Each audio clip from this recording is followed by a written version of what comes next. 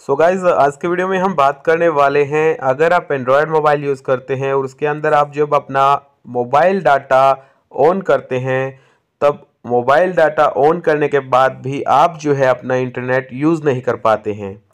तो इस प्रॉब्लम का सॉल्यूशन क्या है? आज की वीडियो में मैं आपको बताने वाला हूँ डिटेल में। तो इस वीडियो में एंड तक बने रहिएगा। वीडियो अच्छी लगे तो लाइक कर देना चैनल को सब्सक्राइब कर लेना। यहाँ पर आपके पास किसी भी ब्रांड का मोबाइल हो, यहाँ पर कुछ सेटिंग्स जो है ऊपर नीचे हो सकती है बट काम आपको सेम ही करना होगा। तो आप देख लीजिएगा, जैसे कि आप देख सकते हैं, मेरा मोबाइल डाटा यहाँ पर मैंने अनेबल कर रखा है। तो भी मेरा इंटरनेट यहाँ पर शो नहीं कर रहा। तो ऐसे में आपको क्या करना है? अगर आपका भी मोबाइल डाटा ऑन होने के बाद भी आपका इंटरनेट वर्किंग नहीं कर रहा है तो उसके लिए आपको क्या करना है? सबसे पहले आपको मोबाइल की सेटिंग में आ जाना है। मोबाइल की सेटिंग में आने के बाद यहाँ पर ऊपर की तरफ़ आपको देखने को मिल रहा है मोबाइल नेटवर्क इस पर आपको क्लिक कर लेना है।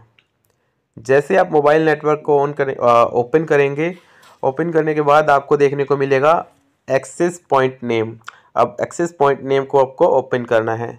यहाँ से ओपन करने के बाद आपको एक एरो का निशान दिख रहा है, इस पर क्लिक करिएगा। इस पर क्लिक करने के बाद अब आपको नीचे मोर का ऑप्शन देखने को मिल रहा है, इस पर क्लिक करिएगा और यहाँ पर डिलीट एपीएन कर दीजिएगा। अब आप देख सकते हैं डिलीट एपीएन हो चुका है। अब यहाँ से रीसेट है रीसेट पर क्लिक करिएगा। रिस्टोरिंग डिफ़ॉल्ट हो चुका है। अब ये एपीएन सेटिंग आ चुकी है, नहीं, इस पर आपको क्लिक कर देना है। आप देख सकते हैं, ये न्यू एपीएन सेटिंग है जो हमने यहाँ से सिलेक्ट कर दी है। आपको सबसे पहले यही काम करना होगा, आप देख लीजिएगा। जो ये एपीएन सेटिंग है, यहाँ से सिलेक्ट हो चुकी है, अब यहाँ से डायरेक्टली आपको बैक आ जाना है। अब आपको अपना मोबाइल डाटा क्या करना है, एक बार ऑन करना है, फिर बंद करना है, फिर से ऑन करके देख लेना है। यहाँ पर आपका जो इंटरनेट है, वो वर्क करने लगेगा, आपको कोई भी प्रॉब्लम फेस करनी नहीं पड़ेगी।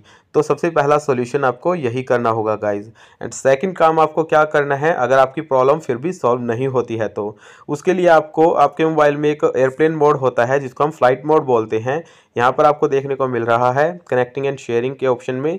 तो यहाँ पर इसको एक बार अनेबल कर देना है। जैसे आप इसको अनेबल करेंगे, आप देखेंगे आपका ऊपर से नेटवर्क वगैरह चले जाएँगे। आपके जो भी सिम वगैरह डाल रखी होगी, वो टावर्स वगैरह वहाँ से चले जाएँगे। अब इसको मैं बंद करता हूँ तो आप देखेंगे वो नेटवर्क वगैरह जो है टावर्स वगैरह वो रिफ्रेश होकर आ चुके हैं। अब मैं यहाँ पर अपने मोबाइल डाटा को अगर ऑन करूँगा तो मेरा इंटरनेट यहाँ पर मैं यूज़ कर पाऊँगा, क्योंकि यहाँ पर रिफ्रेश हो चुका है मेरा जो भी नेटवर्क वगैरह हैं।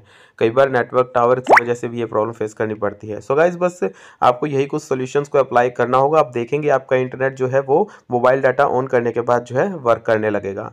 सो गाइज़ बस आज की वीडियो में इतना ही। अगर आपको फिर भी कोई प्रॉब्लम फेस करनी पड़ती है, मुझे कमेंट बॉक्स में ज़रूर बताइएगा। मैं आपके लिए कोई दूसरा सोल्यूशन लेकर आऊँगा।